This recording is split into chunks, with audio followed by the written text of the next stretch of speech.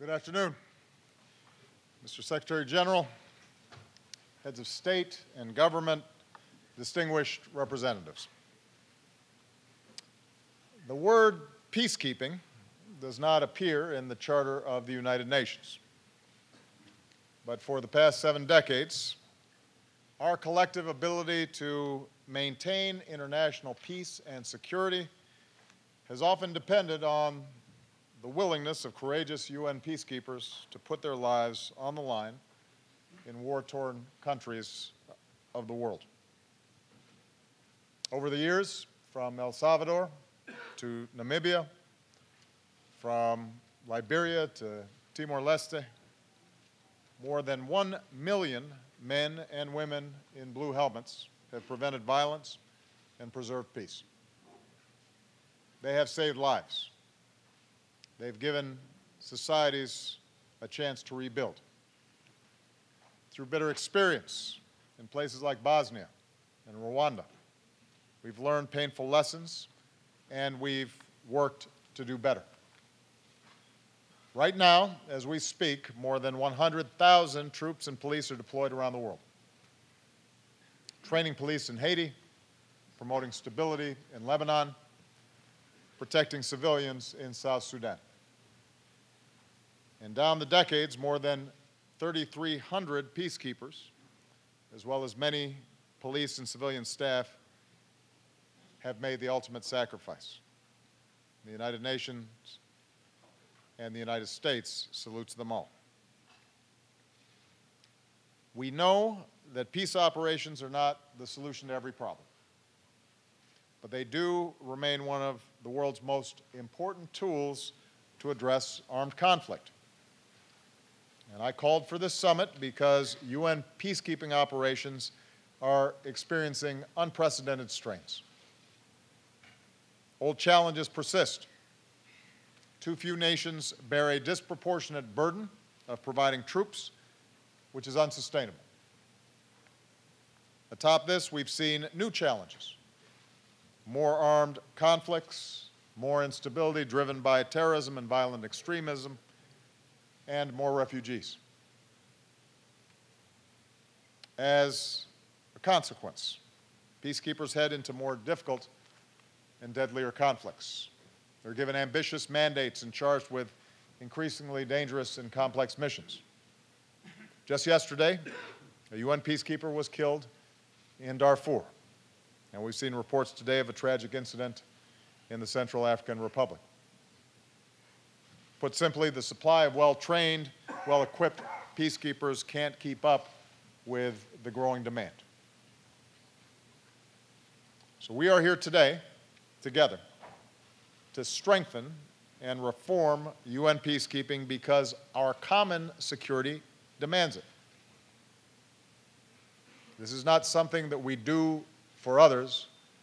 This is something that we do collectively because our collective security depends on it. As the largest financial contributor to the UN peacekeeping operations, the United States intends to continue to do its part. And today I'm issuing new presidential guidance, the first in more than 20 years, to expand our support for UN peace operations. Like the nations participating today, We'll pledge additional resources. We'll work to double the number of U.S. military officers serving in peacekeeping operations. We will offer logistical support, including our unrivaled network of air and sea lift. When there's an urgent need and we're uniquely positioned to help, we'll undertake engineering projects like building airfields and base camps for new missions.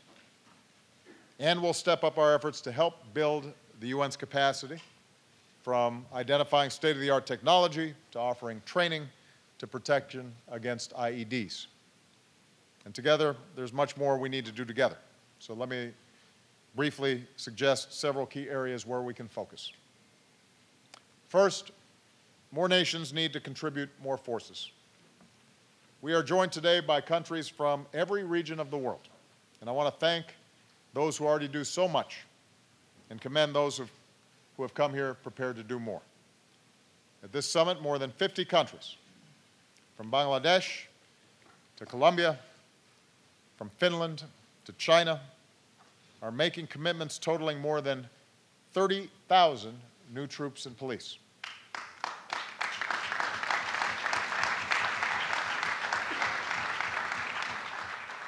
And they're stepping up with critical contributions like medical units, helicopters, and capabilities to counter IEDs, which will help peacekeepers be able to stay safe and succeed in their missions.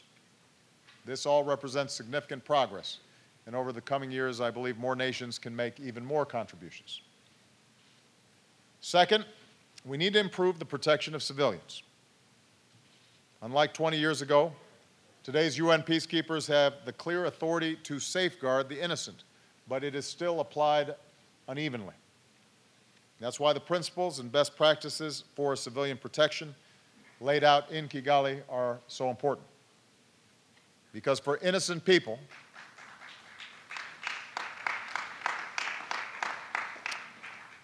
for innocent people caught in the crossfire in places like South Sudan, the actions of UN peacekeepers can mean the difference between life and death. At the same time, uh, we have to candidly acknowledge that abuse by peacekeepers has to end. I want to be very clear. The overwhelming number of peacekeepers serve with honor and decency in extraordinarily difficult situations. But we have seen some appalling cases of peacekeepers abusing civilians, including rape and sexual assault, and that is totally unacceptable. It's an affront to human decency. It undermines the core mission because it erodes trust with communities. It has a corrosive effect on global confidence in peacekeeping itself. Mr. Secretary General, we commend you for leading on this issue and insisting on accountability. And we know you cannot solve this problem alone. As leaders and as an international community, we have to insist on zero tolerance for abuse. Zero. Third, we need to reform and modernize peace operations because today's complex conflicts demand it, and that means putting in place the highest caliber, merit-based leadership teams for every single mission. It means making sure we get more women leaders into critical roles. It means planning the rules for operations in the field and not in conference rooms. Our goal should be to make every new peace operation more efficient and more effective than the last. Beyond strengthening UN peacekeeping, the United States also supports developing new and deeper partnerships between the UN and the African Union to provide reliable support for AU peace operations. And we look forward to hearing concrete proposals from our African partners to advance this work. Finally, we need to increase our support of the full range of UN diplomatic tools, including mediation, envoys, and special political missions, which help us to prevent conflicts in the first place. We cannot expect peacekeeping operations to succeed unless the parties involved are willing and committed to making peace. Uh, if we do all these things, if we provide the support and embrace the reforms that I've described today, I believe we can strengthen peace operations for decades to come because we know, we can be certain that in the years ahead, as conflicts arise, the call will go out to those men and women in blue helmets to restore calm and to keep the peace and to save lives. And when they go, their success and their lives will depend on whether they have the training and the forces and the capabilities and the global support they need to succeed in their mission. The decisions and the commitments we make today can help ensure that they do. I want to thank all of you for your partnership and the commitments that your nations are making here. We will hear some extraordinary commitments from a number of nations. Uh, and we are very proud that the international community has responded to this call in such a significant way. Rest assured that in this critical work, the United States will be a strong partner to all of you. Thank you very much.